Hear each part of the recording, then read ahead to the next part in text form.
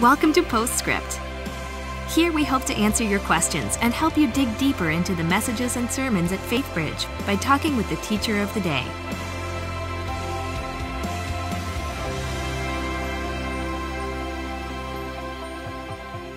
Hi, welcome to Postscript. I'm Pastor Dan Slagle, and I am with Lou Ann Riley, who has preached the second installment of our sermon series that we're calling The Naked Truth.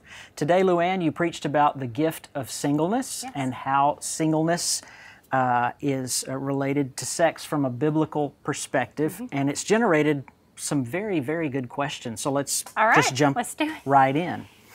Uh, first person wants to know basically, is Christ truly enough? They write, uh, We sing that Christ is enough and say that He's all a person needs, and yet insist that we must be in community and no one should take on the Christian walk alone, especially at FaithBridge. Uh, regardless of having a romantic relationship in one's life, how do we honestly balance this tension?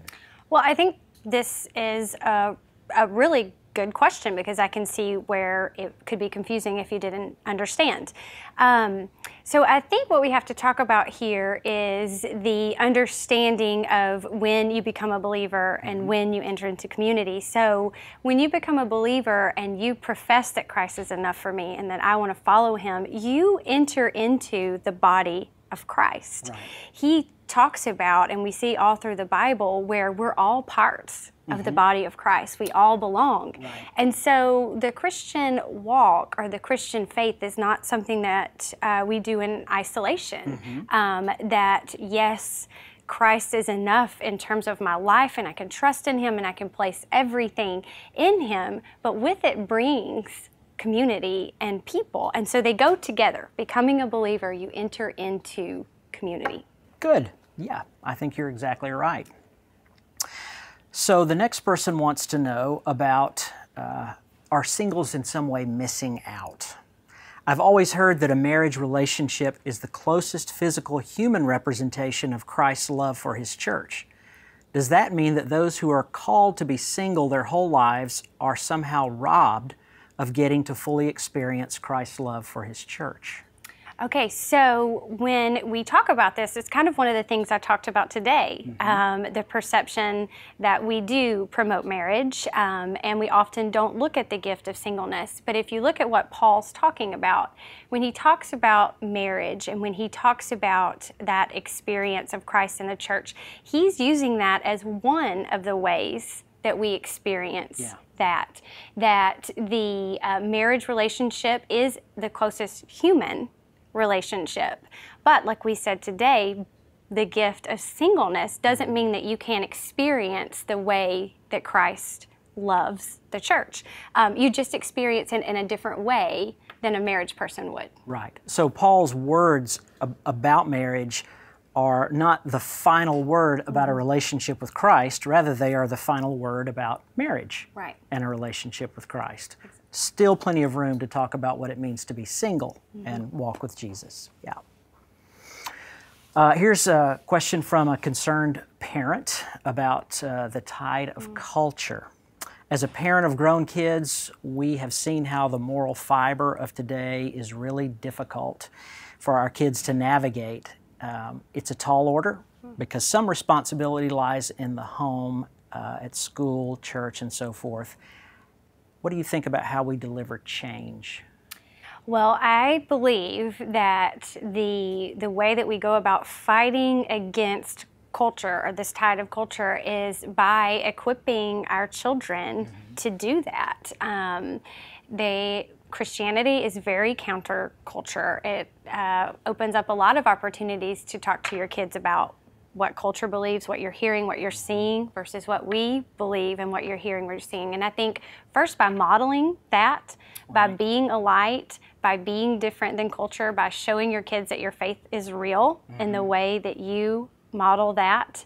Um, and then also having an open space or dialogue with your children where you can teach them what that means and Sure. how they can be different than culture. Yeah. So it's it's a bit of an unrealistic expectation that uh, our kids are going to change culture. They, they will be salt and light in the midst of it, but culture is going to be what it's going to be. our job, if I hear you right, is simply to equip our kids to get ready for whatever culture throws at Yeah, and I think just like I told in my story today, that when I showed up to college, I felt very naive, and um, I think that I was more, a little bit more prone to explore things because everything was new to me. I didn't understand what was happening, and I was away from my parents. I didn't have another voice in my life except culture and what they were saying and and I think that I'm there was an opportunity where maybe if I had been able to learn more about culture and know more that I could have made better decisions. Well, that's a good segue then to our final question about how we talk to our kids about sex. Uh, this writer says, You spoke in your message about the dangers of bringing up your children in an overly sheltered manner, even if well intentioned. What practical advice would you give parents on how to approach this topic with their children in more helpful ways? Yes, so I definitely think just the underlying denominator is to be able to talk to your children and to start talking from an early age. Um, I can accredit your wife um, to uh, teaching in a Bible study that I was in where she talked about just talking about sex in a very practical way. Um, I do think when we don't talk about it, but you hear about it at school Yeah. or you hear about it somewhere else, then we're allowing culture, we're allowing other people to shape what our children think about sex. And so even though it feels awkward to talk to my seven year old about body parts with the real words, Sure, yeah.